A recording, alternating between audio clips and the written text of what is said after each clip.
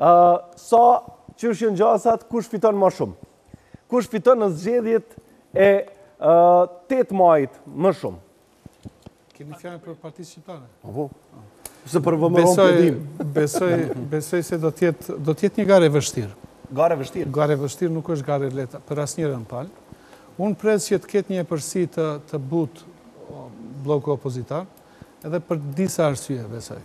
E para është se, si asnjëherë më, më parë, opozita nuk ka qenë kështu e bashkuar, do thotë ajo që është opozitë që njihet këtu në Maqedoni. Ë, edhe BDI-ja ka krijuar një front me parti të vogla, me fraksione të ndryshme, por megjithatë, besoj se fryma e opozitës është te bloku opozitar. Përparësi e Vlenit është se kontrollon dy komuna në gjashtën, janë komunat urbane, po, te shqiptarët që kanë koshin më të madh të votave, është Tetova dhe Gostivari. Kjo ju jep një përparësi. Dhe besoj se diferenca mes dy grupacioneve do bëhet pikërisht në gjashtë. Me që në rast e, po, tërheqim një paralele, nëse e tërheqim një paralele mes Kosovës, Dhe Maqedonisë. E di që situatat nuk janë të njëjta, por jo detyrimisht.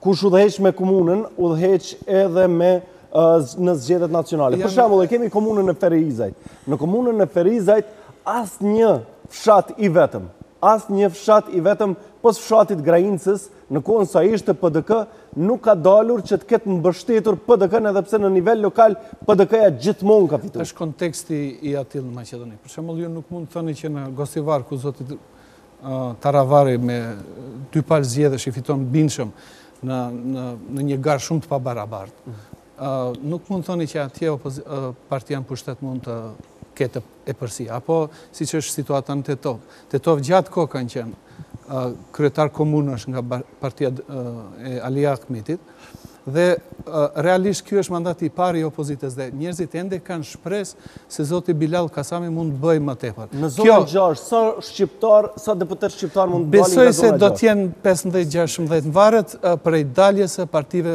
votuesve të partive maqedone. Nëse jehona e tyre është më e madhe numri i deputetëve shqiptarë do të jetë më i vogël. Praktikisht, unë mendoj se fituesin do ta përcaktojë. Nëse opozita Pra, zona 6 mendoni që do ta përcaktojë fituesin. Jo. Zona 6 është do t'i jep përparësi opozitës.